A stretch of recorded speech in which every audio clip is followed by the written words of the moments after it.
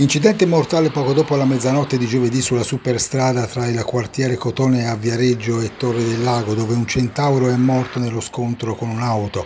La moto su cui viaggiava l'uomo, un 49enne di Torre del Lago, Marco Perazzino, sarebbe stata tamponata da dietro dall'auto, una Lancia Y condotta da un 23enne della provincia di Pisa, trovato positivo sia all'alcol che agli stupefacenti ed è stato arrestato e si trova ai domiciliari in attesa della convalida. Sul posto soccorso sono intervenuti i vigili del fuoco, la polizia, un'ambulanza della misericordia di Camaiore, l'automedica e la polizia municipale per i rilievi.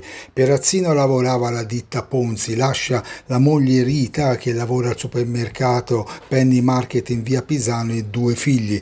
La famiglia tornava da cena dai genitori, l'uomo era in sella alla moto Suzuki Stron 650, nell'urto con l'auto è stato sbalzato contro il guardrail trail e la moglie in auto, non vedendolo tornare a casa gli ha telefonato ma non ricevendo risposta è tornata indietro sulla superstrada da Torre del Lago, purtroppo si è imbattuta nell'incidente in cui ha perso la vita il marito.